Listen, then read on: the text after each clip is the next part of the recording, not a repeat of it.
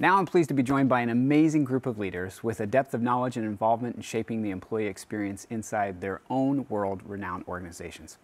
I'm here with Josh Bersin, who is widely recognized as one of the foremost industry experts on employee experience, Neeraj Tolmare, CIO of the Coca-Cola Company, Steve McCrystal, CTO of Unilever, and Microsoft's own Chief People Officer, Kathleen Hogan. Thank you all so much for joining me. We're going to start off, Josh, with a question for you. Um, what are some of the challenges organizations are facing with employee experience today, and, and what do you see as the opportunity before us to help them solve those challenges? It's a hugely complicated multi multi-product market, and there really isn't a platform yet that can integrate it all together. And so a couple years ago, as, as an analyst, I wrote a big piece on something which I called the employee experience platform, and it was really more of an idea uh, than a reality. And I think Microsoft, because of the nature of your products and of course the size and scale of what you do, you have the opportunity to be that integrating platform. Thanks, Josh. Really appreciate your insights and your vision. Um, Neeraj, um, what's been your experience both prior and amid the current pandemic, especially in terms of engaging and supporting Coca-Cola's diverse global employee base? Yeah, thanks, Jared, for the question. Scale is not only a critical component of what we do, but it's also a key leverage point for us, given that we operate in almost every part of the world.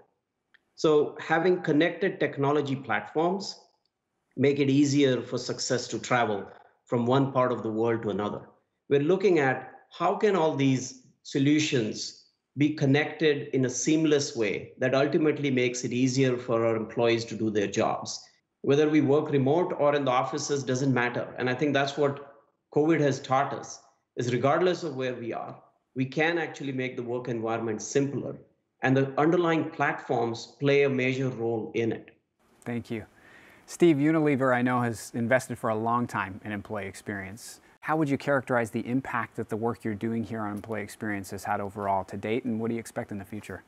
So when we kind of moved towards uh, towards a lockdown mode and, and having to move our whole uh, the whole operation to work remotely, we were quite well prepared for that. The other thing, Jared, that we've really experienced is the uh, the, the importance of well-being. Of course, there's a physical well-being, and so we have you know techniques and tools we've been applying to figure out are people safe and healthy. Um, but that that that also links to the their their well-being and their emotional uh, wellness, right? And and and that has become really hot for us right now. How do we understand how people are coping during these times? We really uh, worry about that. We feel we have a responsibility to help people on that front. Um, we use some of the workplace analytics, I think, which is which is really interesting. I have to say because we had workplace analytics in place for for, for some time and it was kind of interesting. You know, we'd look at it a little bit, sort of see kind of what the trends were, et cetera. You know, now it is it's become a little bit of the lifeblood for us because now we can easily see if we look at it in aggregate, we can see which teams are stretched. You know, are there leaders that we need to work with to help them do something different to enable their employees to get a little bit of uh, a little bit of support. Really appreciate your insight on that. Thank you, Steve. Kathleen, very excited to have you here with us. I really appreciate the partnership that we have had. Um, your team has just been integral, as you well know, to all of the work we've been doing on Viva and this entire space. I, I want to talk a little bit about your work inside of Microsoft. You've been a big advocate of putting people first from the very beginning. How's the partnership between HR, IT, and other leaders in the companies changed in the recent months as we have you know, gone through the pandemic together, still in the middle of it, and as we think about the employee experience? You know, I think as CHROs, we've been focused forever about attracting, developing, retaining exceptional talent and really using, you know, great experiences to change the trajectory of the business.